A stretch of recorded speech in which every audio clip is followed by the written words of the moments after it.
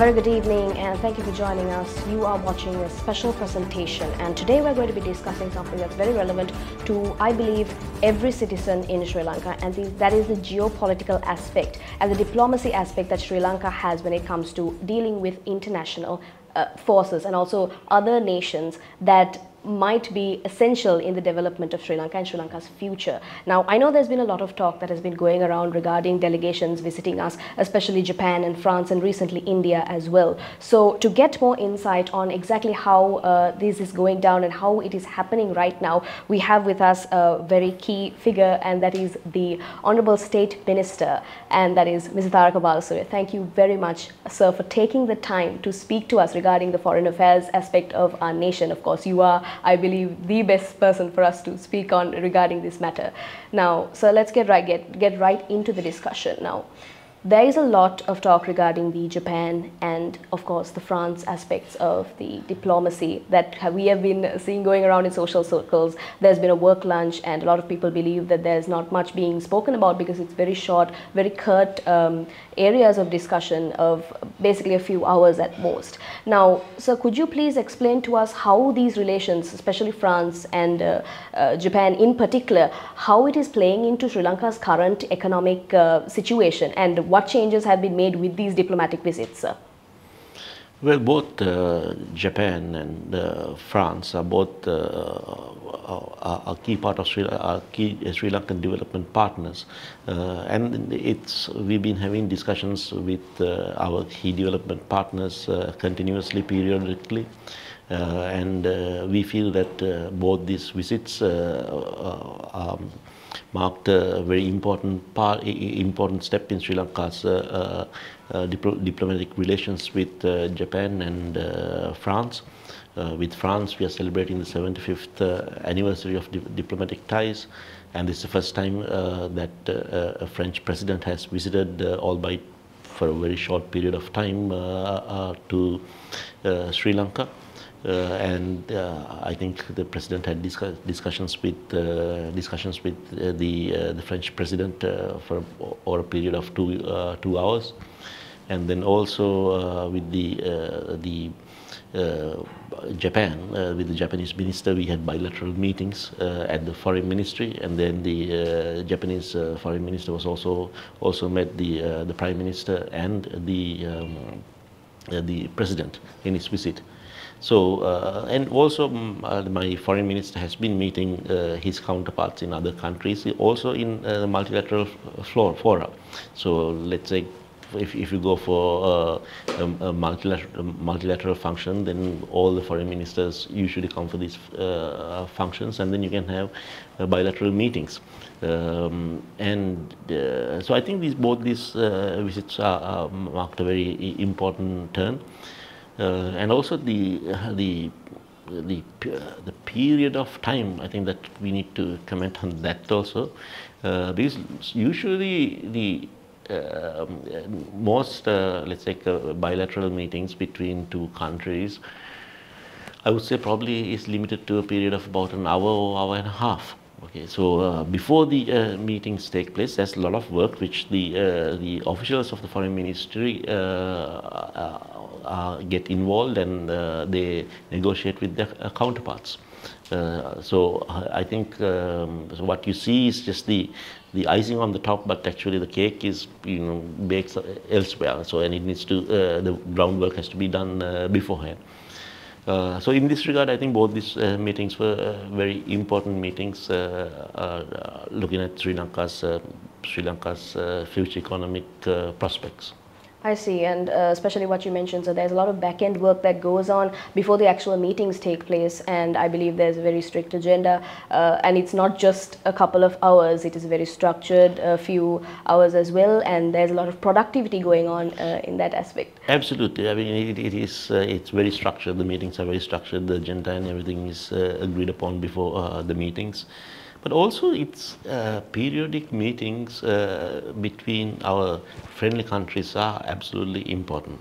I think, uh, uh especially considering uh, the um, how the uh, the light train project was cancelled during the last government, it left a small scar. It's you know the relationships uh, between countries are also, I suppose, it's very similar to personal relationships where you have bumps and then you know sometimes uh, that uh, there can be there can be feelings of um, a little bit of hurt feelings pertaining to certain events and I think certainly Japan was a little bit hurt in the manner in which the the light train project was cancelled. It was cancelled unilaterally.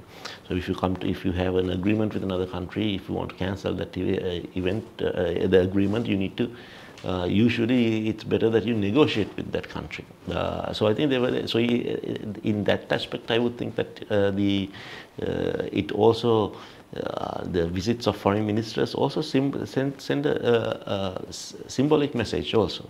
That let's say for example a country like Japan uh, there's so many countries who would request their foreign minister to visit uh, foreign minister to visit uh, that those countries. But obviously, given the time constraints, uh, that the, uh, the, they can only visit certain number of countries. So uh, the fact that uh, in his tour that the, the Sri Lanka was also, uh, I, I included. think, uh, included. Now I think the the foreign minister was visiting, the Japanese foreign minister was visiting, I, think, I believe five countries in six days. Okay, so it of course, these meetings tend to be very hectic and uh, from the foreign minister's perspective, quite tiring also. Uh, but it's very structured and uh, uh so I think we had a very good uh, bilateral meeting, uh, bilateral meeting covering different aspects. So for these bilateral meetings, it's not just the foreign minister and the foreign secretary or the or the state minister who participates. We have we get you know the respective officials from different the line ministries let's say if it's uh, to do with employment, we get the, uh, let's say maybe the uh, Secretary to the Ministry of Labor or Assistant Secretary to the Ministry of Labor. So, so we, we have different people participating in these meetings. And then of course there's a follow-up work that uh, where the foreign ministry uh, together with the the line ministries uh, um, look at the what was discussed what was agreed and to see how it will be followed up. I see. So it's not just two delegations meeting, before and also after such a meetup, there's going to be a lot of coordination, a lot of follow up that's going to go through, uh, albeit not just from the foreign ministry, but also the relevant ministries as well. Absolutely. Yeah. So, uh, what you mentioned, sir, regarding uh, the fact that it's a little bit like a relationship. Now, maintaining foreign relations is very much not an immediate, uh, here are the results kind of uh, type of work, of course. Yeah. It goes on over the course of multiple years, decades, even sometimes. So, could you please elaborate on, on that? That specific aspect where now where do we stand exactly when it comes to our current foreign relations and our current foreign policy? How does it look like for us at the moment with our most uh, neighboring countries like india? How does it uh, look like for us sir? We have very good relationships and you know we have a, uh, with with all countries. Uh, i think particularly within india our relationship has, has been at an all time high i would say. Um, so um, uh, the the India's uh, visit uh, to by the president also that um, uh, it was very uh, landmark visit. there we spoke about connectivity with India. Um, so I would think that the, I would think that India's visit was very important in in terms of connectivity. We, particularly, they spoke of five areas of connectivity. Uh, let's take for example uh, the air connectivity. Now uh, at the moment the you, you get um, planes coming from India to Chennai to I think to to Palali. Uh, but the passengers can carry only um, 7 kgs because you can't have large planes landing in, over there. So the Indians agreed to increase the uh, the to the tarmac of the uh, the airport, and then thereby larger planes can come. Uh, then we spoke of uh, the, the, the sea connectivity, including uh, to uh, it was uh, to have a, a, ferry service between Sri Lanka and uh, India. I think the it's it'll be starting from Na, Na, or, to to to Sri Lanka. Uh, I think that's absolutely important, just uh, in terms of connectivity. Now, just imagine there's 300 million people uh, um, in South, uh, 300 million uh, middle class people, uh, middle class in India. Now imagine the, having the opportunity that let's say the any anyone who wants to come for a, a weekend or a long weekend can uh, hop into their car and then drive to South India and then they can uh, take the ferry, come to Sri Lanka and then visit visit around Sri Lanka for a couple of days and then they can go back to they can go back to uh, India.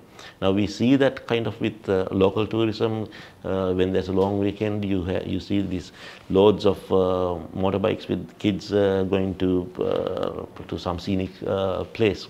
So similarly, that can be extended to the Indians. So I think the, uh, the, the, the, ferry connectivity and in, the, in this regard that the President's discussions pertaining to a land bridge uh, uh, becomes important.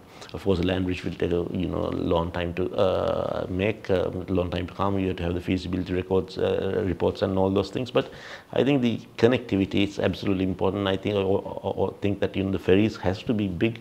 you can carry like you know two, two or three hundred vehicles. But initially, I think we'll start with some small ferries and this connectivity will, will be made.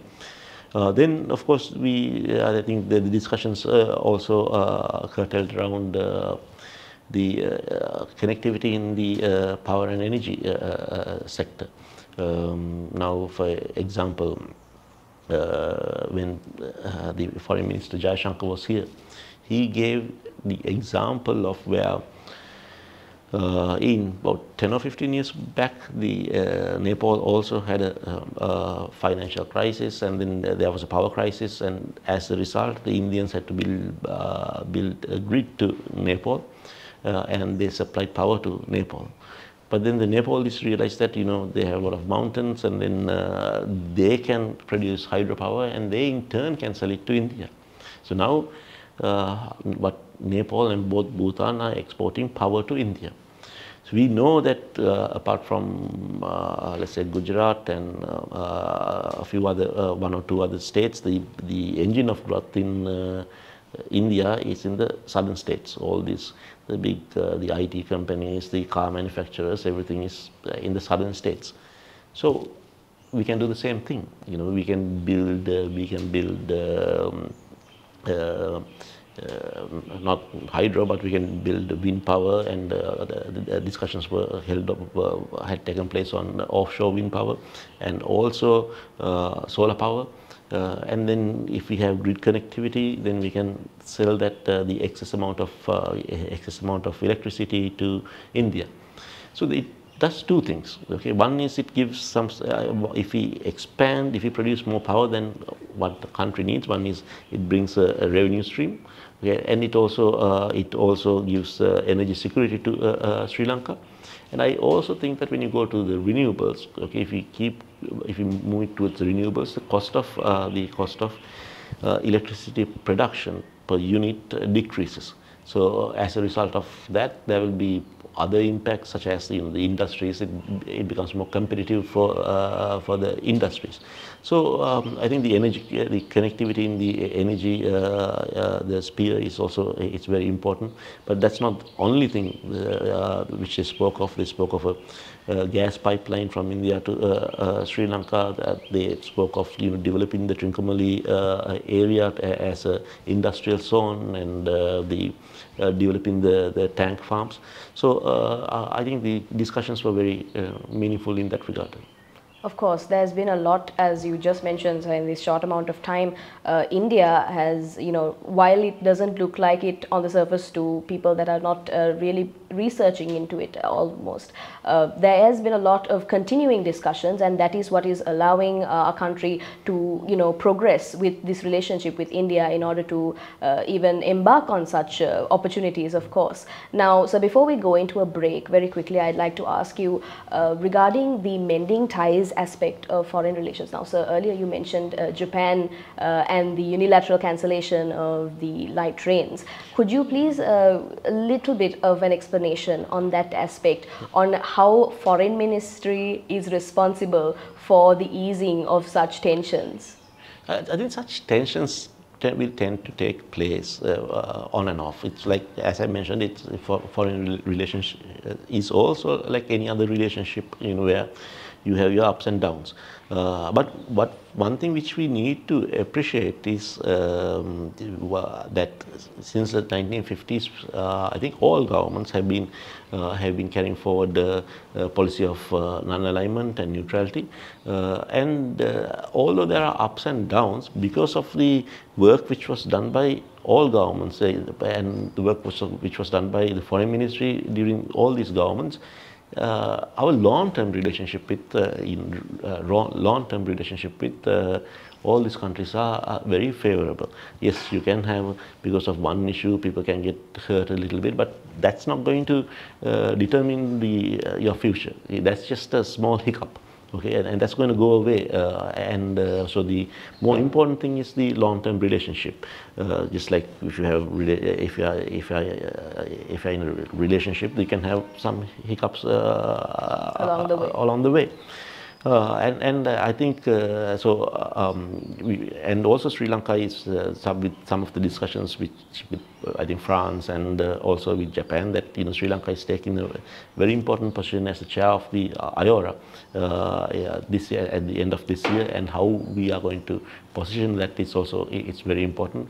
And I think the Indo-Pacific is becoming a very uh, area of interest for uh, everybody, and. Um, have, uh, and discussions also prevail on uh, uh, our future action, course of action pertaining to the Indo-Pacific. All right, I think that is a very great point for us to leave this segment off on. Um, there's a lot for us to discuss in relation to specifically the future of the foreign relations in relation to Sri Lanka and other nations, and also what kind of economic support is given to the middle class of the country via foreign investments. Uh, but before we discuss any of that, let's go in for a very short commercial break. You're watching a special presentation. We'll be right back.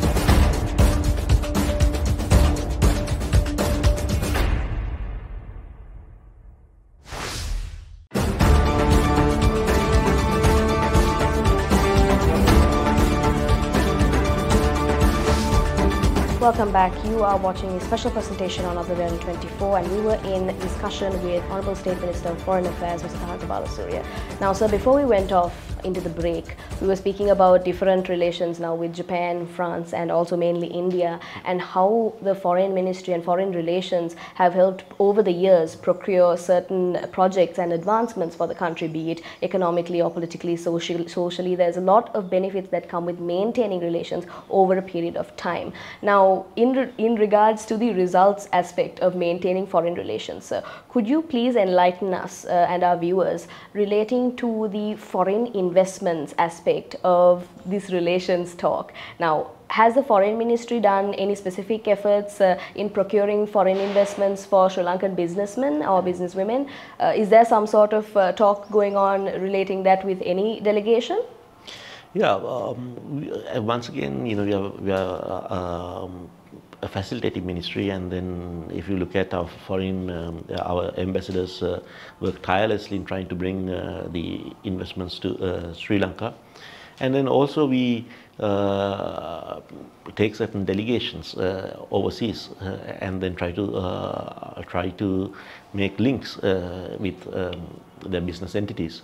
Now, uh, for example, I was we had a, a political consultation in Saudi, uh, and I led the group.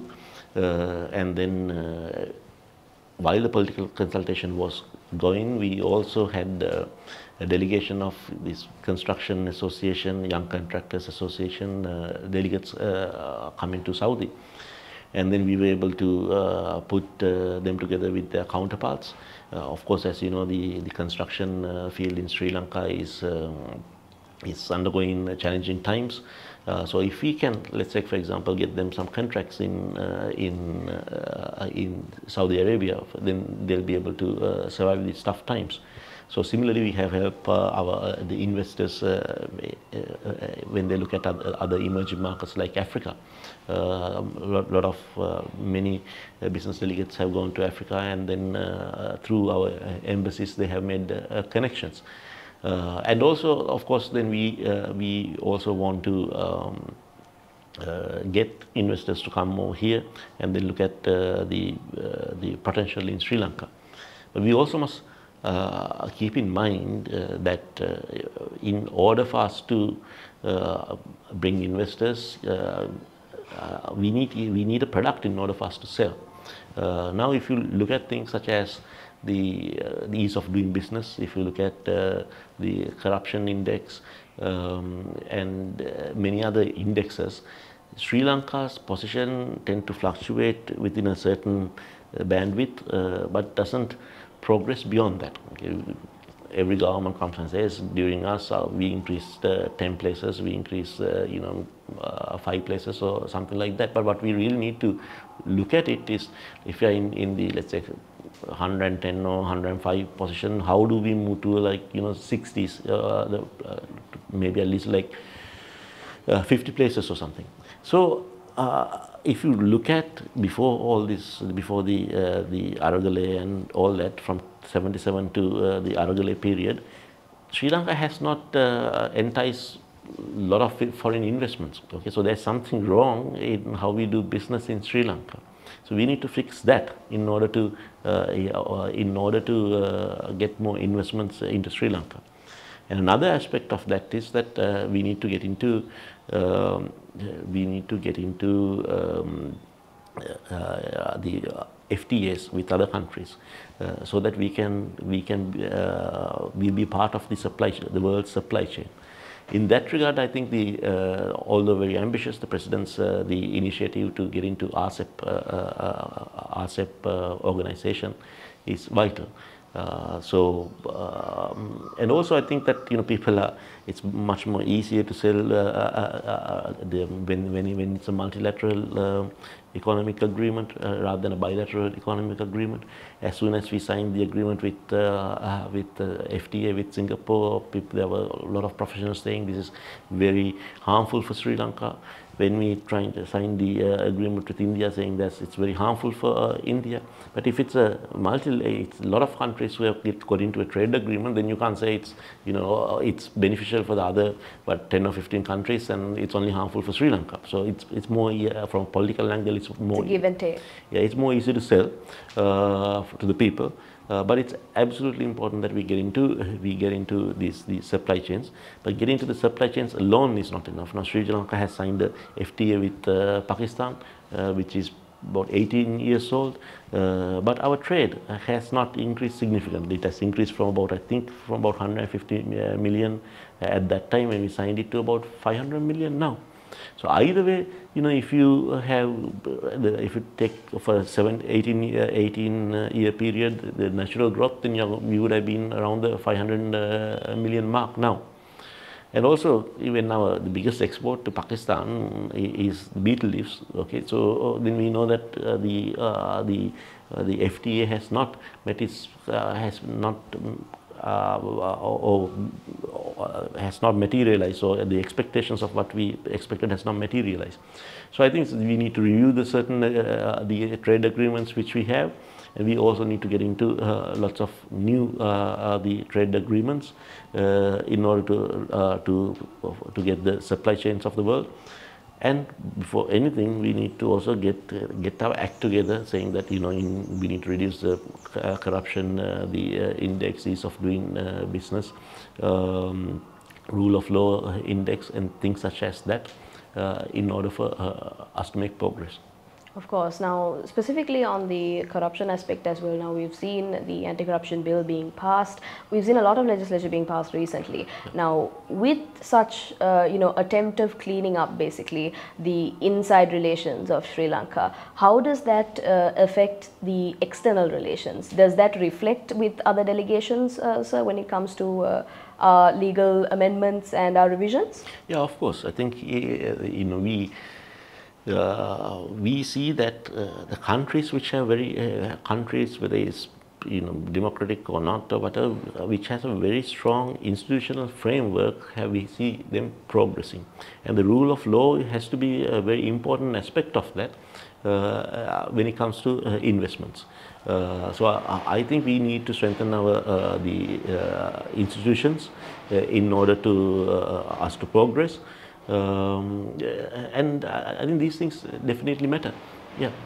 Now, uh, now that we're moving on from that uh, area of the discussion, sir, now there's a lot of talk regarding the free and open Indo-Pacific.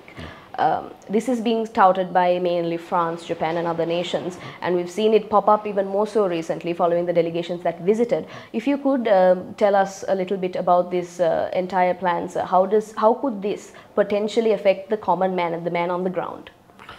Well, most of these agreements, whether it's if you look at you know, are tends to be uh, agreements on connectivity. If it's if it's the BRI or the uh, the uh, the free and uh, uh, uh, free and open Indo-Pacific, and if you look at some of these strategies of the recent strategies of some of these countries, it tends to be about connectivity. So anything to do with connectivity, we are all right. Okay, we, we feel that you know the, we need to get be more connected to uh, these uh, countries, uh, but what we are uh, when we follow a neutral or let's say uh, when we follow a neutral or an underlying policy, our main concern is that we will not allow we will not align ourselves militarily with any party. Okay, now that doesn't mean that we are going to we have a, a foreign policy which we where we do nothing. We of course will uh, have to have our uh, have alliances or, or, arrangements with uh, countries depending on the uh, depending on the uh, the need uh, at that time. of course, this will take place in in terms of trilateral, bilateral, and also multilateral arrangements. Um, so the Indo-Pacific, uh, how we view it uh, is as you know, you look at the, the the Pacific Ocean as a separate entity and the Indian Ocean as a, a separate entity. Uh, of course, as far back as in 1971, Sri Lanka uh, sponsored a, a, UN resolution making in, making uh, Indian Ocean uh, ocean of peace. So our stand, uh, as I think as far back in, as in the 1970s till now, is that you know we, we believe that Indian Ocean should be an ocean of peace. Uh, we discourage militarization of the Indian Ocean, and we also uh, feel that you know it has to be rules based and there has, there has to be free navigation uh, for all uh, in the uh, Indian Ocean. So that's those are the guiding principles which we would like to take uh, take forward. And specifically drawing attention to that aspect, there is no need for any unnecessary hysterics in relation to uh, militarizing or any sort of uh, capabilities in that aspect. When we have, uh, of course, had this discussion with you, we've spoken a lot about how this is going to affect the common man and how trade relations and economical relations and, of course, foreign investments uh, can really play a big factor if the foreign relations aspect is done uh, right over a, a, very large period of time. So, of course, it's not just instantaneous gratification there is a little bit of work that goes on over the years. Now, sir, before we uh, end this discussion, I'd like to ask you just one question relating the future of Sri Lanka's foreign relations. Are there any specific plans uh, in relation to keeping diplomatic ties with other nations, or is it uh, just that we go on uh, as we have been? No, I mean, we have to see how where the world is uh, moving to, and we need to uh, uh, kind of create our own niche uh, uh, uh, and make our own noise in that. I think I think the the president's the initiative of climate having a climate justice forum is absolutely important. now, those are also interlinked with certain uh, other things. Let's take for uh, example, uh, the, the, if you look at emissions, these 95% of the emissions are from the developed countries and only 5% come from the, the, the, developing countries. And then about um, the, the, the, there was international agreement saying that you know there'll be the developed countries will be providing 100 billion dollars uh, every year for uh, uh, climate uh, initiatives. So now we have to pay a price which is uh, seems unfair. Okay. But I think these all these um, these initiatives also can be uh, the can be um, we can we, we, what we see is regionally there are other similar initiatives now uh, recently, uh, all the uh, the um, countries, the heads of the covering the Amazon, the the that area, the, all the they met in in the issues. Yeah, issues. So obviously climate justice uh, forum and uh, although they're in Latin America, we can work together. Egypt, for example, is uh, uh starting uh, uh, start, has started an initiative pertaining to debt relief and debt forgiveness, kind of on that line. So the although the, the let's say the climate um, the Justice Forum also can have can be linked with that. So I think you know uh, although there are different different initiatives, the Climate Justice Forum, we can make our own niche, but we need to align with also uh, other uh, regional organizations uh, and see and hopefully we can convince the developed world that developed world that that when it comes to when it comes to uh, global warming that uh, they have to pay their fair price for the, uh, the things which they have done. Of course, uh, preventing disproportionate uh, taxation and, of course, uh, unnecessary or unfair agreements is one of the biggest uh, roles that a foreign ministry has uh, the responsibility to do. And I believe that through this discussion, I feel like our viewers would have understood that there is active measures in place that's being done in relation to keeping our uh, sovereignty while also integrating with other nations worldwide. unfortunately, sir, we have come up to time for this discussion. Uh, I'm pretty sure everyone watching at home would have had a very insightful discussion and would have taken away quite a few points in relation to Sri Lanka's foreign policies and where we stand uh, in the world. Well, that's all we have for you tonight on this special presentation on Ada Derana 24. If you had missed any of today's programs, you can always rewatch by catching us on our YouTube channel, youtube.com slash Ada Derana English. Thank you for watching. Have a great night.